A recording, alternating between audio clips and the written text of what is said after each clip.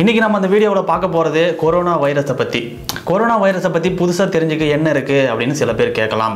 ஆனால் ஒவ்வொரு நாளுமே புதுசு புதுசாக அதை பற்றின தகவல்கள் வந்துக்கிட்டு தான் இருக்குது வைரஸை பற்றி ஒரு தகவல் வந்துட்டுருக்கு அது மட்டும் இல்லாமல் வேறு சில நாடுகள் சைனாவில் அந்த வைரஸை பரப்புனாங்களா? இல்லை சைனா தான் அந்த வைரஸை கண்டுபிடிச்சி அதை பரப்பி விட்டாங்களா? இப்படிலாம் பல விதமான கருத்துக்கள் வந்துக்கிட்டு இருக்குது. அது மட்டும் இல்லாமல் இது எதுலேருந்து வந்துச்சு அப்படின்றது இன்னமும் கண்டுபிடிக்கப்படலை.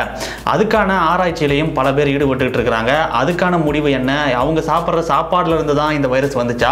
இல்லை வேற ஒரு நாட்டில இருந்து அதை கண்டுபிடிச்சு பரப்பி விட்டாங்களா? அப்படின்ற தகவல்களும் இப்போதைக்கு வந்துகிட்டு இருக்குது. இன்னைக்கு வரைக்கும் எத்தனை பேர் இறந்து போயிருக்கிறாங்க? எத்தனை பேர் பாதிக்கப்பட்டிருக்கிறாங்க? அப்படின்றதும் புதுசு புதுசாக ஒவ்வொரு நாளும் அதிகரிச்சுக்கிட்டே தான் போகுது. அதனால் இந்த கொரோனா வைரஸ் அப்படின்றது சாதாரணமான வைரஸாக தான் இருக்கும் அப்படின்னு ஆரம்பத்தில் சில பேர் நினச்சிருப்பாங்க. அதுவும் தப்பு. இந்த கொரோனா வைரஸ் எந்த அளவுக்கு ஆபத்தான வைரஸ் அப்படின்றத பற்றியும் இந்த வீடியோவில் பார்க்க போகிறோம் அது மட்டும் இல்லாமல் இதை பற்றின டீட்டெயிலான தகவல்கள் நிறையவே இந்த வீடியோவில் இருக்குது அதனால் தவறாமல் இந்த வீடியோவை முழுசாக பாருங்கள் அதுக்கு முன்னாடி இந்த மாதிரி சுவாரஸ்யமான வீடியோக்களை தொடர்ந்து பார்க்க நம்ம சேனலை சப்ஸ்கிரைப் பண்ணிவிட்டு பக்கத்தில் இருக்கிற பெல் ஐக்கானையும் மறக்காமல் அழுத்திடுங்க. முதல்ல நம்ம பார்க்க போகிறது கொரோனா வைரஸால் பாதிப்பு ஏற்பட்டால் என்ன மாதிரியான அறிகுறிகள் உடம்புல இருக்கும் அப்படின்றத பற்றி முதல்ல ஜலதோஷம் இருமல் இந்த மாதிரி ஆரம்பித்து அதுக்கப்புறம் ஃபீவர் வரும். இந்த மாதிரி சாதாரணமான ஃபீவர் மாதிரியோ இல்லை ஜலதோஷம் இருமல் மாதிரியோ தான் இந்த நோய் ஆரம்பிக்குது. இந்த வைரஸ் பாதிப்பு ஏற்பட்டா அப்படின்னு சொல்லப்படுது. இந்த பாதிப்புகளுக்கான மருந்துகள் அவங்க கொடுத்துக்கிட்டே வராங்க. ஏன்னா இந்த கொரோனா வைரஸ் அழிக்கிறதுக்கான மருந்து இது வரைக்கும் கண்டுபிடிக்கப்படலை.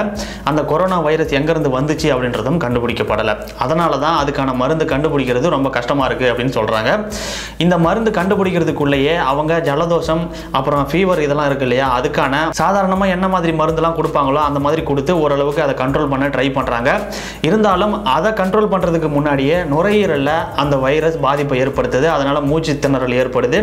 அதையும் சரி பண்ணுறதுக்கு என்ன பண்ணுறாங்க அப்படின்னு பார்த்தீங்கன்னா செயற்கையான ஆக்சிஜன் இருக்கு இல்லையா? அதை வச்சு அதை சமாளிக்க ட்ரை பண்ணுறாங்க அதை சமாளிக்கிறதுக்குள்ளேயே உடம்புல இருக்கக்கூடிய வேறு சில பார்ட்லாம் இருக்கு இல்லையா? அதெல்லாம் செயலிழக்க வச்சு அதுலேயும் பிரச்சனைகளை உண்டு பண்ணுது. அதனால தான் பல பேர் இறந்து போயிடுறாங்க. இதுதான் இந்த வைரஸுடைய ஷார்ட்டாக இந்த வைரஸ் வந்தால் இந்த மாதிரி பாதிப்புகள் தான் உடம்புல ஏற்படும். அதனால தான் இத்தனை பேர் இறந்து போயிருக்காங்க. மருந்து கண்டுபிடிக்கிறது ரொம்ப கஷ்டமாக இருக்குது இதுக்கு தீவிரமான முயற்சிகள் சைனாவில் நடந்துகிட்டு இருக்கு. இப்போது இந்த வைரஸ் வந்து சைனாவில் ஊகான் நகரத்தில் கண்டுபிடிக்கப்பட்டாலும் அங்கே ஆரம்பித்தாலும் இப்போ பதினாறு நாடுகளுக்கு இந்த வைரஸ் பரவி இருக்கு. இப்போ இந்த வைரஸை பற்றி முதல்ல கேள்விப்படும் பொழுது எல்லார் மனசுலையும் என்ன இருந்திருக்கும் அப்படின்னு பார்த்தீங்கன்னா நம்ம நாட்டுக்கு இந்த வைரஸ் வந்துடக்கூடாது அப்படின்னு தான் நினச்சிருப்பாங்க. எதனாலனா நம்ம நாட்டுக்குள்ளே வந்துருச்சுன்னா நமக்கு வந்துருமோ நம்மளை சேர்ந்தவங்களுக்கு வந்துருமோ அப்படின்ற பயம் எல்லாருக்குமே கண்டிப்பாக இருந்திருக்கும். அதனால் இந்த வைரஸ் வந்துடக்கூடாது அப்படின்னு வேண்டனவங்க பல பேர் இருப்பாங்க. இப்போ இந்த வைரஸ் இந்தியாவுக்குள்ளேயும் வந்துருச்சு. ஏற்கனவே நாலஞ்சு பேர் வந்திருக்கிறாங்க அறிகுறிகள் இருக்குது அப்படின்னு சொல்லியிருந்தாங்க. ஆனால் கன்ஃபார்மாக இது வரைக்கும் அவங்களுக்கு இந்த வைரஸ் இருக்குது அப்படின்னு சொல்லலை. இன்றைக்கி சொல்லியிருக்கிறாங்க. கேரளாவை சேர்ந்த ஒருவருக்கு இந்த வைரஸ் பாதிப்பு இருக்குது அவரை தனிமைப்படுத்தி ஆஸ்பத்திரியில் வச்சு கவனிச்சுக்கிட்டு இருக்கிறாங்க. ஆனாலும் அவர் ரொம்ப சீரியஸாலாம் இன்னும் போகலை அப்படின்னு சொல்லியிருக்கிறாங்க. இந்த வைரஸ் அவருக்கு எப்படி வந்துச்சு அப்படின்னு பார்த்தீங்கன்னா அவரும் சைனாவில் இருக்கக்கூடிய ஊகான் யூனிவர்சிட்டியில் ஸ்டூடெண்ட்டாக படிச்சுட்டு இருந்திருக்கிறாரு. அதனால தான் அவருக்கு இந்த பாதிப்பு வந்திருக்கு. அவர் இப்போ இந்தியாவுக்கு வந்ததால் இந்த வைரஸை கண்டுபிடிச்சி க சொல்லியிருக்கிறாங்க. இதனால் இந்தியாவுக்கு இந்த வைரஸ் இப்போ வந்துருச்சு அப்படின்னு உறுதிப்படுத்தியிருக்கிறாங்க. இந்தியாவை சேர்த்து பதினாறு நாடா? இல்லை இந்தியாவை சேர்த்தா பதினேழாவது நாடா அப்படின்றது தெரியல. ஆனாலும் பதினாறு நாடுகளுக்கு மேலே இந்த வைரஸ் வந்திருக்கு. இதுக்கு மேலேயும் சில நாடுகளில் இன்னும் செக் பண்ணி ரிசல்ட்லாம் சொல்லாமல் கூட இருப்பாங்க. அதெல்லாம் சேரும்பொழுது இன்னும் சில நாடுகளும் இந்த லிஸ்ட்டில் சேரும். இருந்தாலும் சைனாவை தவிர்த்து வேறு சில நாடுகள் இருக்கு இல்லையா? அங்கெல்லாம் பத்து எட்டு ஆறு இந்த மாதிரி தான் பாதிப்படைஞ்சவங்க இருக்கிறாங்க. கம்மியாக தான் இருக்கிறாங்க. அது ஓரளவுக்கு சேஃபான விஷயம் தான் அப்படின்னு சொல்லலாம். இந்தியாவுக்கு கூட ஒருத்தர் தான் இருக்கிறாரு. அதனால் ஓரளவுக்கு இந்தியாவில் இருக்கிறவங்க பயப்படாமல் இருக்கலாம். இது வரைக்கும் இதனால் செத்தவங்க எண்ணிக்கை இப்போ எத்தனை இருக்குது அப்படின்னு பார்த்தீங்கன்னா நூற்றி எழுபது இன்னைக்கு தகவல் படி நூற்றி எழுபது பேர் இறந்துருக்காங்க. ஆறாயிரம் பேர் பாதிக்கப்பட்டதாக சைனாவிலேருந்து சொல்லப்படுது.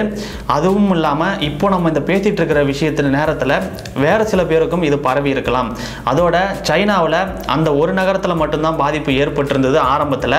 இப்போது அது சைனா முழுக்கவே பெரும்பாலும் நிறைய பேருக்கு நிறைய இடங்களில் பரவிருச்சு அப்படின்னு சொல்கிறாங்க அடுத்ததை நம்ம பார்க்க போகிற முக்கியமான விஷயம் என்ன அப்படின்னு பார்த்தீங்கன்னா இந்த வைரஸை பரப்பு பரப்புனது முதல்ல சைனாவே தான் பரப்புனாங்க அப்படின்னு சொல்லப்பட்டது. ஆனாலும் அதில் லாஜிக்கே இல்லை அப்படின்னு பல பேர் ப்ரூவ் பண்ணிட்டாங்க. ஏன்னா சைனாவை பரப்பியிருந்தாக்கா சைனாவுடைய மக்கள் தான் பாதிக்கப்படுறாங்க. அது மட்டும் இல்லாமல் சைனாவுடைய பொருளாதாரம் இதனால் ரொம்பவே இறங்கி போயிடுச்சு. அதனால் அவங்க பண்ணியிருக்க வாய்ப்பே இல்லை அப்படின்றது எல்லாருக்குமே தெரியும். எல்லாருமே யோசிச்சு பார்த்தாலே புரியக்கூடிய விஷயமா தான் இருக்குது அடுத்ததாக பார்த்தீங்கன்னா இப்போது அமெரிக்கா தான் இந்த வைரஸை வந்து பரப்பி விட்டுருச்சு அப்படின்னு ஒரு தகவல் பரவிட்டு இருக்கு. இதுக்கான ப்ரூஃபும் இருக்குது அப்படின்னு சொல்லிட்டு அதுக்கான டாக்குமெண்ட்டோட ஃபேஸ்புக்கில் ஒருத்தர் ஷேர் பண்ணியிருக்காரு. அவருடைய பேர் கிறிஸ் கிர்காஃப். இவர் அமெரிக்காவை சேர்ந்தவர். இவர் ஷேர் பண்ணதில் என்ன சொல்லியிருக்காருன்னு பார்த்தீங்கன்னா ரெண்டாயிரத்தி பதினஞ்சில் கொரோனா வைரஸ் கண்டுபிடிச்சிட்டாங்க. அதுக்கு அமெரிக்காவும் துணையாக இருந்தது. அதோட அந்த வைரஸுக்கு பேட்டன் ரைட்ஸும் வாங்கியிருக்கிறாங்க. அதில் இந்த வைரஸுக்கான பேட்டன் ரைட்ஸ் மட்டும் இல்லாமல் அதை தற்காத்துக்கிறதுக்கான மருந்தும் எங்ககிட்ட இருக்குது அதை குணப்படுத்துறதுக்கான மருந்தும் இருக்குது அப்படின்னு சொல்லிட்டு அந்த டாக்குமெண்ட்டில் இருக்குது இப்போது என்ன ஆச்சு அந்த மருந்தை கண்டுபிடிக்கிறதுக்கான தேடுதல் நடக்குது அப்படின்னு சொல்லியிருக்காங்களே. அதுக்கு காரணம் என்ன? இந்த பேட்டன் ரைட்ஸ் போன வருஷத்தோட முடிஞ்சிருச்சு. அதனால் தான் அதுக்கு அடுத்த நாள்லேருந்து சைனாவில் இந்த வைரஸ் பரவ ஆரம்பிச்சிருச்சு. இதை பரப்பி விட்டது அமெரிக்கா தான் அப்படின்ற மாதிரி அவர் ஷேர் பண்ணியிருக்காரு. இதை பல பேர் பார்த்துருக்குறாங்க லைக் பண்ணியிருக்கிறாங்க. அதுக்கப்புறம் நாலாயிரம் பேருக்கு மேலே கிட்டத்தட்ட ஐயாயிரம் பேர் இந்த விஷயத்தை ஷேர் பண்ணவும் செஞ்சுருக்கிறாங்க. ஆனால் அந்த டாக்குமெண்ட்டை பார்க்கும்போது அதில் உண்மை என்னதவா தெரிய வந்திருக்கு அப்படின்னு சொல்கிறாங்கன்னா அந்த பேட்டன் ரைட்ஸில் இருக்கக்கூடிய வைரஸை பற்றி கொரோனா வைரஸ்னு சொல்லியிருக்காங்களே தவிர அது இந்த வைரஸ் கிடையாது. ஏன்னா கொரோனா அப்படின்றது ஒரு ஃபேமிலியோட பேர். அதில் நிறைய வைரஸ் இருக்குது அந்த ஒவ்வொரு வைரஸுக்குமே ஒவ்வொரு பேர் இருக்குது அந்த பேட்டன் ரைட்ஸ்லேயே நேமில் பார்த்தீங்கன்னா கொரோனா அப்படின்னு சொல்லிட்டு ப்ராக்கெட்டில் சார்ஸ் அப்படின்னு போட்டிருப்பாங்க. சார்ஸ் வைரஸ் அப்படின்றது பல பேருக்கு தெரிஞ்சிருக்க வாய்ப்புகள் இருக்குது ஏன்னா ரெண்டாயிரத்தி ரெண்டில் இந்த வைரஸ் வந்துச்சு. ரெண்டாயிரத்தி ரெண்டுலேருந்து மூணு வரைக்கும் இதை பற்றி அதிகமாக பேசிகிட்டு இருந்தாங்க. இதனால் பல நாடுகள் பாதிக்கப்பட்டுச்சு. பல நாடுகள் பயந்தும் இருந்துச்சு. இந்தியாவில் இதை பற்றின பெருமளவு பாதிப்புகள் ஏற்படலை அப்படின்னு தான் நான் நினைக்கிறேன். இந்த வைரஸை பற்றி தான் அவங்க அந்த பேட்டன் ரைட்ஸில் சொல்லியிருக்கிறாங்க. அந்த வைரஸுக்கான மருந்து தான் இருக்கிறதா சொல்லியிருக்கிறாங்க. அதில் வெறும் கொரோனா அப்படின்ற பேரை மட்டும் பார்த்துட்டு அவர் இதுன்னு தப்பாக நினச்சி ஷேர் பண்ணிட்டாரு. இது பரவலாக வைரலாக பரவ ஆரம்பிச்சிருச்சு. இப்போ இந்த வைரஸோட பேர் என்ன அப்படின்னு பார்த்தீங்கன்னா நோவல் கொரோனா அப்படின்னு வச்சிருக்கிறாங்க. இந்த வைரஸோட பேர் நோவல் அப்படின்னு சொல்லலாம். ஆனால் ஷார்ட்டாக அந்த ஃபேமிலி நேமை வச்சே கொரோனா கொரோனா அப்படின்னு எல்லாருமே சொல்லிட்டு வரோம். அதனால் இந்த பேர்னால கன்ஃபியூஷன் வந்திருக்கலாம். இப்போ அது பொய் அப்படின்றது நிறுவனம் ஆயிடுச்சு அடுத்து பரவலாக சொல்லப்படுற காரணம் என்ன அப்படின்னு பார்த்தீங்கன்னா சைனாவுடைய உணவு முறை தான் இந்த வைரஸ் வர்றதுக்கு காரணமாக இருந்திருக்கும் அப்படின்னு நிறைய பேர் சொல்லிட்டு வராங்க.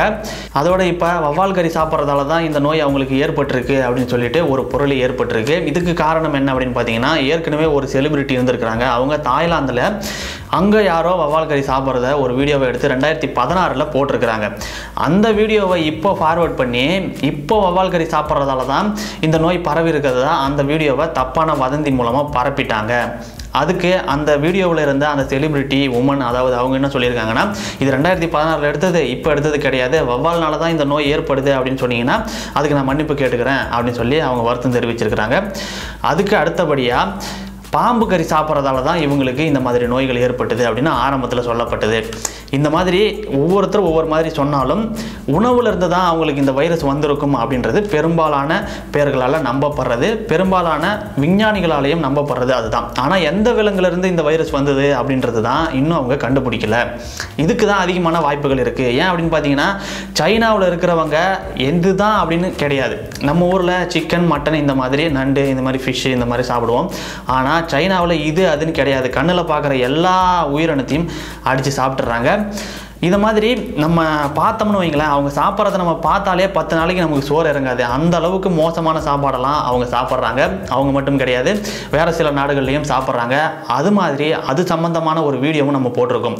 மோசமான உணவுகள் உலகத்திலேயே எதெல்லாம் இருக்குது அதை யார் யாரெல்லாம் சாப்பிட்றாங்க? அப்படின்னு ஒரு வீடியோ போட்டிருக்கோம். அதோட லிங்க் மேலே இருக்குது மேலே ஐ பட்டனில் இருக்குது பாருங்கள் அதோட டிஸ்கிரிப்ஷன்லையும் அந்த லிங்க் கொடுத்துருக்குறேன். அந்த வீடியோவை நீங்கள் பார்க்கணும் அப்படின்னு ஆசைப்பட்டீங்கன்னா அந்த லிங்கை கிளிக் பண்ணி நீங்கள் பார்க்கலாம்.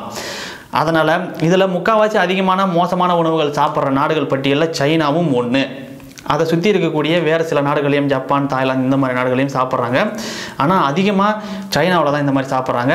அதோட அவங்க வேக வச்சு மட்டுமே எல்லாத்தையும் சாப்பிட்றது கிடையாது. வேக வைக்காமல் பச்சையாகவே நிறைய உயிரினங்களை துடி துடிக்க சாப்பிட்றாங்க.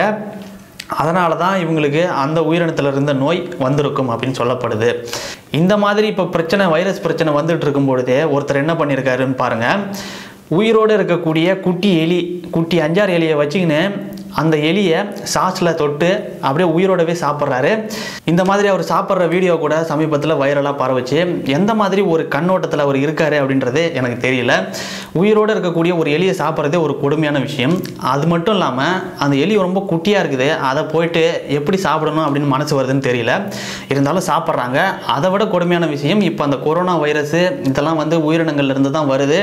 அதுவும் இல்லாமல் வேக வைக்காமல் சாப்பிட்றதால தான் வருது இப்படின்னு நமக்கே தெரியுது. நம்ம வந்து வே வெளியூரில் இருக்கிறோம். அதனுடைய பாதிப்பு பற்றி நமக்கு பெருமளவில் தெரியாது. நமக்கே அந்த மாதிரி சாப்பிடக்கூடாது அப்படின்றது தெரியுது. சைனாவிலே இருக்கிற ஒருத்தர் இந்த மாதிரி சாப்பிட்றாரு அப்படின்னும் பொழுது அது நமக்கு ஆச்சரியமாக தான் இருக்குது சரி இந்த கொரோனா வைரஸுக்கு மருந்து இப்போ கண்டுபிடிக்கல. இருந்தாலும் அந்த வைரஸ் பாதிக்கப்பட்டால் அவங்கள காப்பாற்றுறதுக்கு மருந்து கண்டுபிடிக்கிற வரைக்கும் வேறு வழியே இல்லையா? உயிர் பிழைக்க முடியுமா? முடியாதா? இந்த கேள்விக்கு பதில் என்ன அப்படின்னு பார்த்தீங்கன்னா கண்டிப்பாக இதில் பிழைக்கிறதுக்கு வாய்ப்புகள் இருக்குது எப்படி அப்படின்னு பார்த்தீங்கன்னா வயசானவங்களும் அதை விட பத்து பன்னெண்டு வயசுக்குள்ளே இருக்கிறவங்களும் தான் அதிகமாக இந்த நோய்க்கு பாதிக்கப்பட்டு இறந்து போயிருக்கிறாங்க. ஏன்னா அவங்களுக்கு நோய் எதிர்ப்பு சக்திகள் அப்படின்றது ரொம்ப கம்மியாக இருக்குது இதில் மிடில் ஏஜில் இருக்கக்கூடியவங்களுக்கு ஓரளவுக்கு நோய் எதிர்ப்பு சக்தி அதிகமாக இருக்குது அப்படின்றதால அவங்களுக்கு அதிகமான பாதிப்புகள் இல்லை. சில பேரை காப்பாற்றவும் செஞ்சுருக்கிறதா சைனா கவர்மெண்ட் சொல்லியிருக்கிறாங்க. சில பேர் அந்த நோயிலிருந்து குணமாகி போயிருக்கிறாங்க. அது மட்டும் இல்லாமல் இப்போ இந்த சித்த மருத்துவர் ஒருத்தர் வந்து நான் இந்த கொரோனா வைரஸுக்கு மருந்து கண்டுபிடிச்சிட்டேன் அப்படி இப்படின்லாம் சொல்கிறாரு பார்த்தீங்களா அதெல்லாம் நம்பாதீங்க. அதெல்லாம் புரளி. அதுக்கெல்லாம் வாய்ப்பே கிடையாது. ஏன்னா வைரஸ் என்ன அப்படின்றது அவருக்கு தெரியாது. வைரஸே என்னன்னு தெரியாதப்போ அதுக்கு மருந்து எப்படி அவர் கண்டுபிடிக்க முடியும்? மேக்ஸிமம் அதெல்லாம் பொய்யா இருக்க தான் வாய்ப்புகள் அதிகமாக இருக்குது இதை சாதாரணமாக யோசிச்சு பார்த்தா உங்களுக்கே தெரியும். அதோட இந்த வீடியோவில் கொரோனா வைரஸை பற்றி ஓரளவுக்கு நாம் எல்லா விஷயங்களையும் கவர் பண்ணிட்டோம் அப்படின்னு நினைக்கிறேன். இது வரைக்கும் அந்த கொரோனா வைரஸ் பற்றி வந்த தகவல்கள் எல்லாத்தையும் நம்ம சொல்லியாச்சு. இதில் குறிப்பாக இன்னொரு விஷயமும் மறந்துட்டோம். இது என்னென்னு பார்த்தீங்கன்னா சைனாவிலேருந்து ஏதோ ஒரு நர்ஸா இல்லை டாக்டரா அப்படின்னு தெரியல. அவங்களுடைய வீடியோ பேசி போட்டிருக்காங்க. அதுவும் வைரலாக இருக்குது அப்படின்னு சொல்லப்படுது. அதில் அவங்க என்ன சொல்லியிருக்காங்க அப்படின்னா இது வரைக்கும் தொண்ணூறாயிரம் பேர் சைனா முழுக்க பாதிக்கப்பட்டிருக்கிறாங்க இந்த வைரஸால் அப்படின்னு ஒரு நியூஸ் சொல்லியிருக்கிறாங்க. இது அதிகாரப்பூர்வமாக சொல்லப்பட்டது கிடையாது. அவங்க சோஷியல் மீடியாவில் தான் ஷேர் பண்ணியிருக்கிறாங்க. இது எந்த அளவுக்கு உண்மை அப்படின்றதும் தெரியல. ஆனால் சைனா கவர்மெண்ட் மூலமாக வெளியே வந்த தகவல் படி ஆறாயிரம் பேர் தான் பாதிக்கப்பட்டிருக்காங்க அப்படின்றது. இதில் தொண்ணூறாயிரம் பேர் அப்படின்னு அவங்க சொல்லியிருக்கிறாங்க. அது எப்படி எந்த கணக்கில் அப்படின்றது தெரியல. அது எந்த அளவுக்கு உண்மை அப்படின்றதும் தெரியல. இப்போ கொரோனா வைரஸ் பற்றி இந்த வீடியோவில் ஓரளவுக்கு முழுசாக பார்த்தாச்சு. இந்த வீடியோ உங்களுக்கு பிடிச்சிருந்தா லைக் பண்ணுங்கள் ஷேர் பண்ணுங்கள் அதோட நம்ம சேனலை சப்ஸ்கிரைப் பண்ணுங்கள் பக்கத்தில் இருக்கிற பெல் ஐக்கானையும் அழுத்துங்க நன்றி.